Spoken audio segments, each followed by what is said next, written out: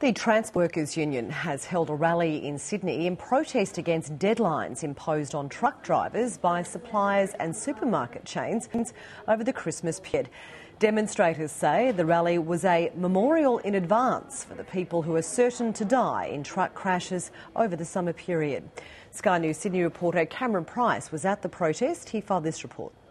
Around 100 truck drivers and their families gathered outside New South Wales Parliament this morning protest what they call unreasonable expectations put on them by major companies, including Coles. You'll drive and you'll drive, and if you can't do the job, we'll find someone who will.